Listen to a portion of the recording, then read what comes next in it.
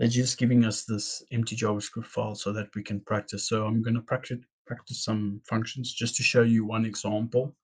Um, let's start off with the variable.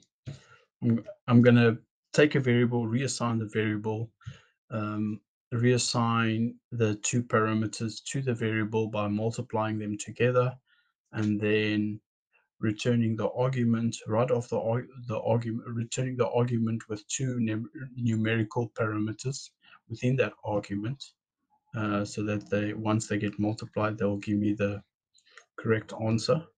And then right after the argument itself, I will console.log the variable. So let's get to it. So we're going to use the let variable keyword because we're going to reassign the variable. I'm going to name the variable survive. And yeah, that's the irony about it. You guys obviously know what the parameters are going to be, right? Water and food. And then we're going to use that arrow function syntax.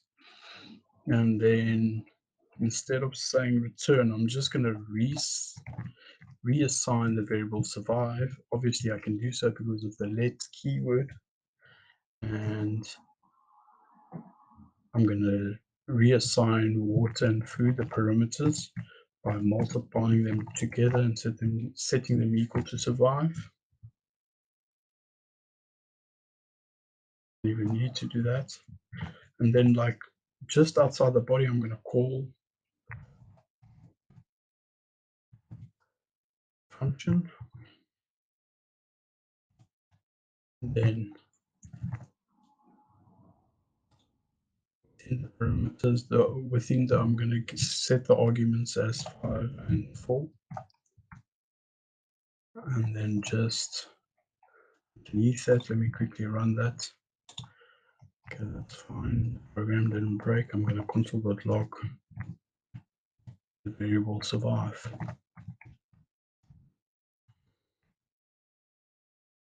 That. You see, it gives me the answer of 5 multiplied by 4. So if I want to change this, I could change this value, numerical value to whatever. To, for instance, say, let's say 20. And I'm going to get 80. I can change the second one to 5 and so on and so forth. Works fine. Right. Okay. I think that's enough practice. Moving forward.